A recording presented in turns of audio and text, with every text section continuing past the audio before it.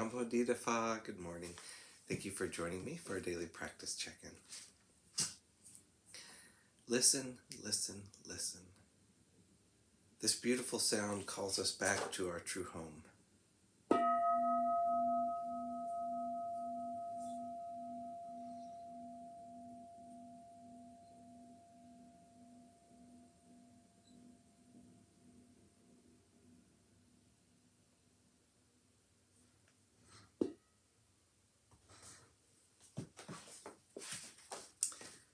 First mindfulness training.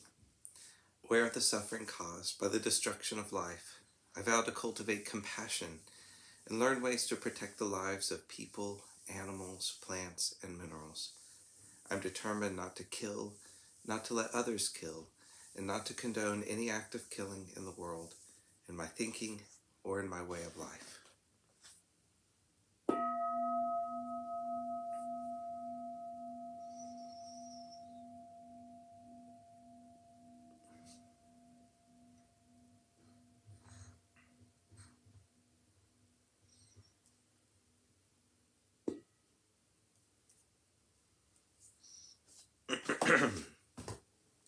Our Dharma lesson today is Dealing with Distracting Thoughts from Ajahn Thiradhammo's book, Working with the Five Hindrances.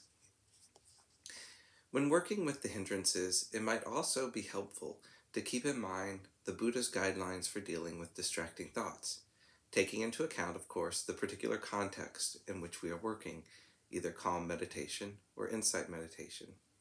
In one specific discourse, the Buddha gave five methods for dealing with unwholesome thoughts connected with desire, aversion, and delusion, which persistently distract one from the meditation object.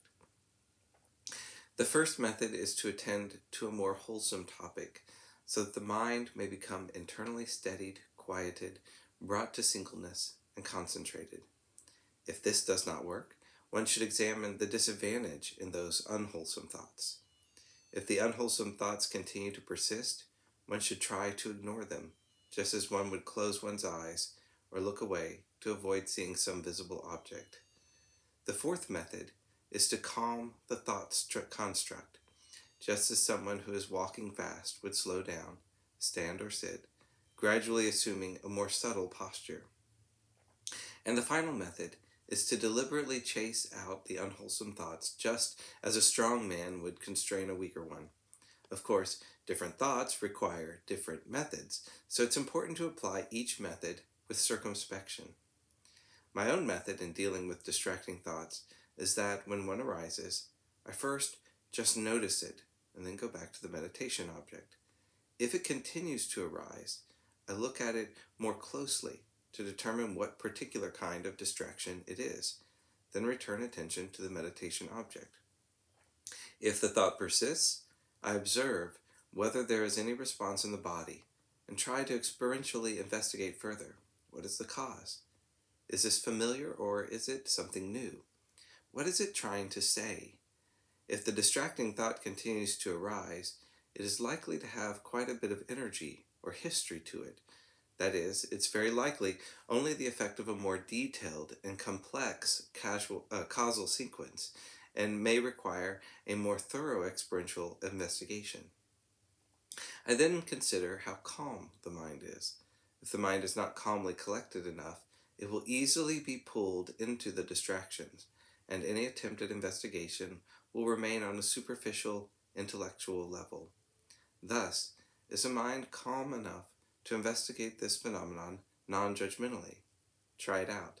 If the mind gets pulled in, shaken up, or distur- disturbed, it is perhaps better to first increase the level of calm collectedness. If the distraction is overwhelming, this may mean temporarily suspending the meditation exercise by changing postures or even engaging in some other mindful activity until one feels ready to re engage once again. With mental phenomena, it is generally helpful to bring awareness to the body and sometimes feeling tones to check what the response is.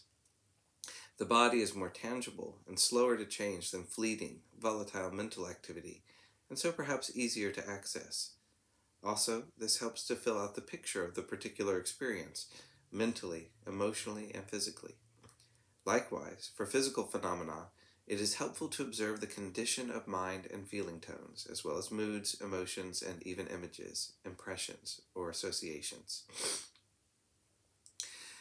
Also, by initially observing the characteristics of a phenomenon, we can determine whether it is energizing or debilitating. It's generally useful to calm energizing phenomenon and energize debilitating ones. The best way to calm them is through the exercises of calm meditation though sometimes other methods are needed, particularly for the body, for which there are various kinds of breathing exercises, and body awareness and relaxation exercises, such as yoga or Tai Chi. Studying, investigating, and reciting Dhamma teachings can be mentally energizing, and there are many ways to energize the body. Sometimes, general physical energizing is helpful, while at other times, energizing specific parts of the body which manifest symptoms of numbness, frozenness, or immobility is needed. There are also ways to energize gently, for example, certain yoga postures, and ways to energize vigorously. Even if one feels tired afterwards, they may still be useful for getting the blood circulating or shifting energy.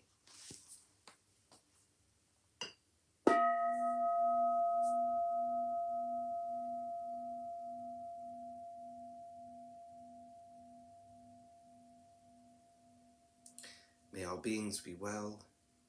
May all beings be happy. May all beings be peaceful. Sadhu, sadhu, sadhu.